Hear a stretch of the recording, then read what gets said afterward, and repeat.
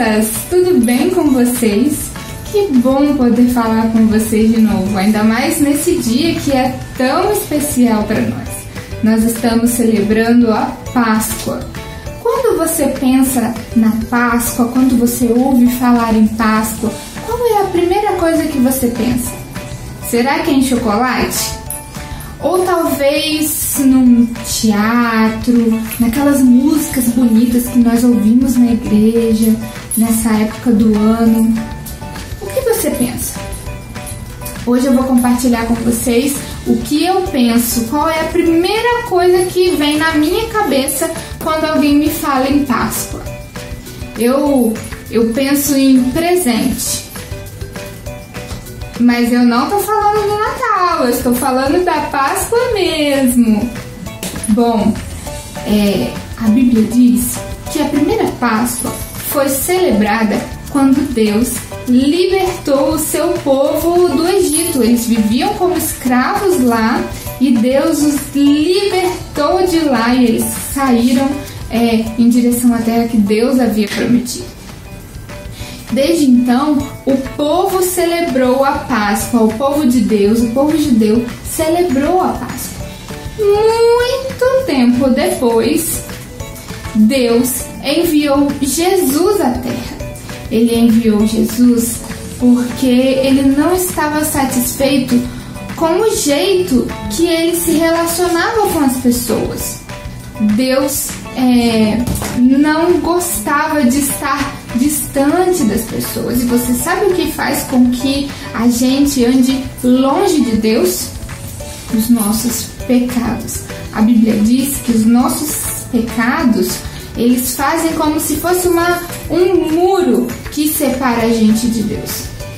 E pecado é tudo aquilo que a gente pensa, que a gente fala e que a gente faz, que é o contrário do que Deus nos criou para fazer. Isso entristece muito a Ele. Os nossos pecados estavam fazendo isso com a gente, entre nós e Deus. Então, Deus enviou Jesus. Ele enviou Jesus que viveu aqui na terra de um jeito perfeito. Ele não cometeu nenhum erro e não tinha nenhum pecado. Mas como ele iria fazer para derrubar esse muro que estava nos separando de Deus? Foi preciso que Jesus morresse. E isso aconteceu numa Páscoa. Na época da Páscoa, Jesus foi traído por um dos seus discípulos e acabaram prendendo Jesus. Bateram nele e colocaram ele numa cruz e ele morreu assim. Isso foi numa sexta-feira. Mas se você já ouviu falar de Páscoa ou se lembra do que nós já conversamos durante alguns anos, você vai se lembrar que a Páscoa não é uma coisa triste, não é uma data triste. Pelo contrário, é uma data feliz. Bom, depois que Jesus morreu na sexta-feira, ele passou sexta, sábado e domingo. Domingo, algumas mulheres foram lá onde Jesus estava morto, onde Jesus estava sepultado, para poder cuidar do corpo dele como era costume naquela época. Mas chegando lá, elas encontraram um anjo e o anjo disse: Não, vocês não precisam vir mais aqui. Ele não está aqui. Jesus ressuscitou. Jesus morreu na sexta-feira, mas no domingo ele estava vivo novamente e mostrou para o mundo inteiro, naquela época e até hoje, muito tempo depois, que ele tem poder sobre todas as coisas, inclusive sobre a morte. Bom, com a morte e a ressurreição de Jesus, ele nos ofereceu o maior presente que nós poderíamos ter, que foi fazer uma ponte que passasse por cima daquele muro e nos dar de presente uma limpeza que nenhum sabão pode fazer. porque não se trata da limpeza das mãos, dos pés ou do rosto. É uma limpeza feita no coração. Jesus é o único capaz de limpar o nosso coração e derrubar esse muro, fazer uma ponte entre nós e Deus.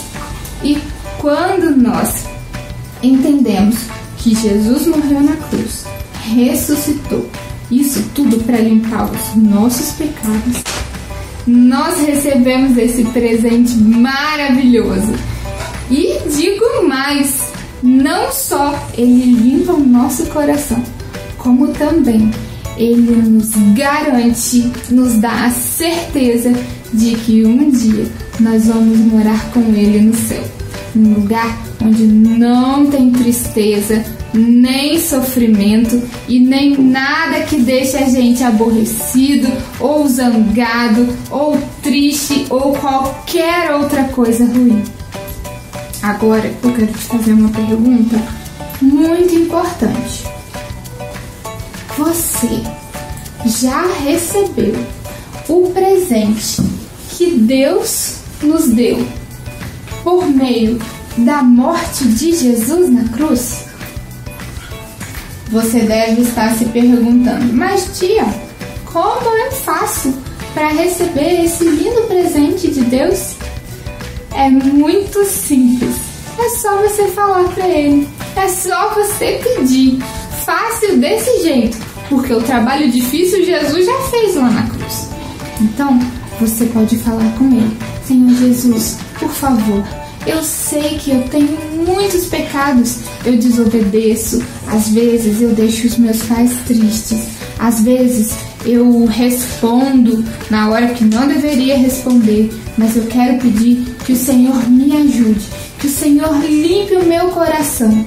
Eu estou arrependido e não quero mais fazer isso. Eu quero viver de um jeito que deixe o Senhor feliz. E eu quero estar sempre, sempre, sempre perto de Deus. Ser um amigo de Jesus. Por isso, eu te peço, limpa o meu coração e me ajude a ser diferente.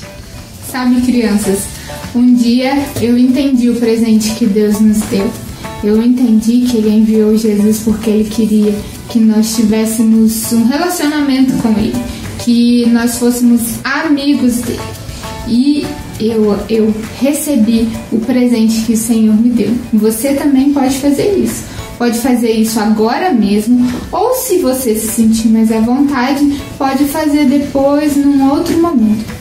O importante é a gente entender que a gente precisa muito ser amigo de Deus e que esse presente que Ele nos deu, mesmo muito antes da gente nascer, já era para nós também, já era para todas as pessoas que entendessem que Jesus veio à Terra, morreu e ressuscitou para mostrar que ele tem poder sobre todas as coisas, poder até sobre a morte. E por isso ele pode limpar o nosso coração dos nossos pecados. Se você gostou dessa história, compartilhe esse vídeo com outras pessoas, com seus amigos, no grupo da família.